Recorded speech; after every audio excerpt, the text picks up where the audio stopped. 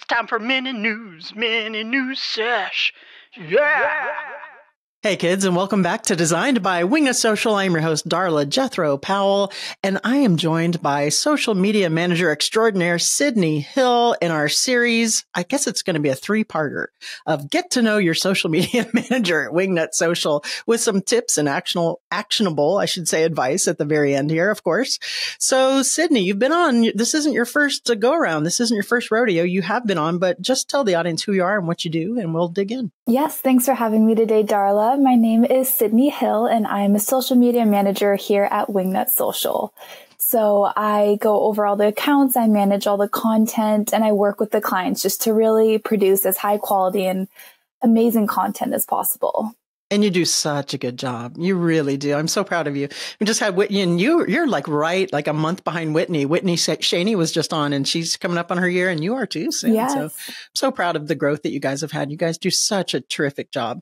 So that being said, tell me a little bit about what your favorite part is of being a social media manager. You got to have one. Yes. So that is an easy one for me. My favorite part of working here at Wingnut is really getting to know our clients and getting to know their designs and what inspires them and just kind of their business goals in general, and then working with them to really push them and make their business as successful as possible. Just helping them with marketing and helping them kind of utilize the impact that social media really does have in the marketing world to really just elevate their business is it's such a joy for me. That seems to be a very common denominator, right, among us all, myself, Abby, you, Whitney, and, and the entire team is just really getting to know the business and the business owners and the different goals and the different designs and aesthetics and voice. It's never two or two are never the same.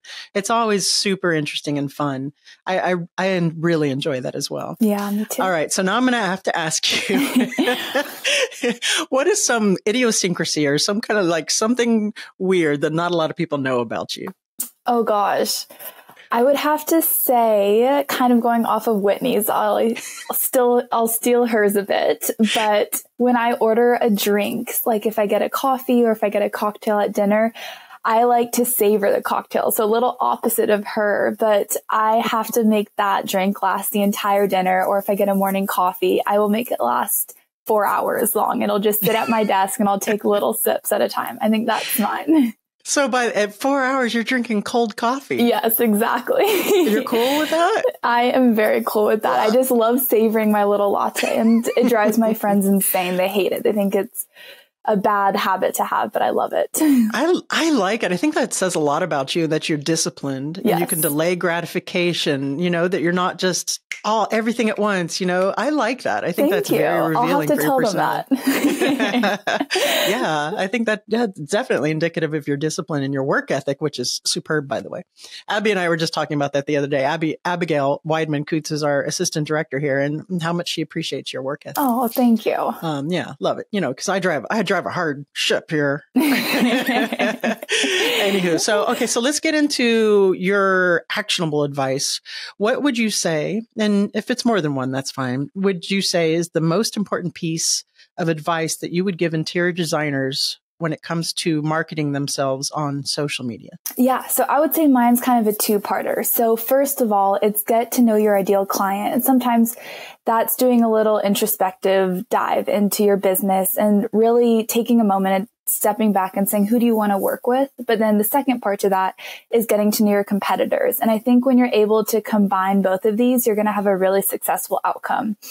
So going off of that, I really think that in order to know who your competition is, you have to first know who your ideal clientele is. So getting to know people who just really appreciate your designs, I think, and people who really understand your art form because design is such an art form of its own and really understanding who those people are, what they do for work, where they live. Um, I think it's a really important piece to marketing that's often forgotten. And then once you have that, say once you have that dialed in, what is that looking like on your social channels? How is that actionable? Yeah, that's a great question. So then it's just connecting with those people and really trying to build a two way relationship with them. So it's, for me, it's always finding something that we have in common. Maybe if it's, we both love the beach or we both love to surf, it's going to your town's local surf club Instagrams and engaging with those accounts and trying to find the people who make up the audience of those accounts and building a relationship with them. And you do love to surf. Yes, I do. That's another thing about you. Weren't you weren't you like a collegiate or professional surfer? What, what no, I just I was just on my um, college's surf club. How cool! But, yes. How cool is that? Did you ever see sharks? I have not ever, just dolphins, which I'm happy about. dolphins are great, but I don't know. I I've seen some serious TikToks with sharks in there and surfers. I don't know yeah. if I can brave that. And I scuba dive, or at least it's been. Oh, minute, that's right. I, yeah, yeah, yeah. If they're out there, I just haven't known, so I'm happy with that. uh, well, yeah, ignorance is bliss, I guess. Yes, exactly. All right, Sydney Hill, thank you so much for joining us and telling us a little bit more about you and how you like to work. We love you here at Wingnut. Don't go anywhere. Thank you. Thank you so and, much, uh, Darla. Uh, yeah, no, thank you. And we'll see you next time. Thank you. Bye. All right. Bye bye. All right, kids, there you have it from the horse's mouth, our very own team of millennials. and there are some more, right? I have some more on my team, more social media managers that's part time, have SEO managers that are full time and part time, all in house, never outsourced, all in the United States. Um, not everyone is that comfortable getting on camera doing a podcast though. And I don't want to, you know, I don't want to, I don't want to push or make anyone do anything they don't want to do. Right. Except sometimes Abby doesn't want to do the mini news and I make her. but that's another story. All right. Uh, that is it for this mini news. Make sure to tune in Wednesday for an extended interview with a terrific expert guest that's going to help you run your interior design business or your architect firm, or if you're a to the trade manufacturer, some sound business and marketing uh, practices. Always every Wednesday for that. And if you need help with marketing any of those uh, things, we only we specialize in the interior design realm, genre, vertical, milieu, or however you want to say that. And that includes interior designers, architects, for home furnishings pros, manufacturers, interior design business coaches, that kind of thing.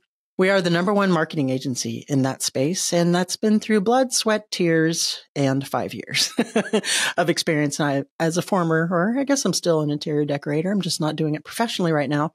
I learned how to market interior design firms very effectively. And that is what we do here. Wingnutsocial.com. And don't forget our Instagram for interior designers course is out. That's doing really, really well. And I think at the time this is airing, you can still take advantage of our Halloween sale by entering in code Halloweenie. That's H A L L O W E E N I E, one W to get a 25% off discount on that. And that is also at wingnutsocial.com. Kids, thank you so much for joining me. We'll see you on Wednesday. Remember, until next time, to get out there, get uncomfortable, and be great. Mini new sash. Yeah.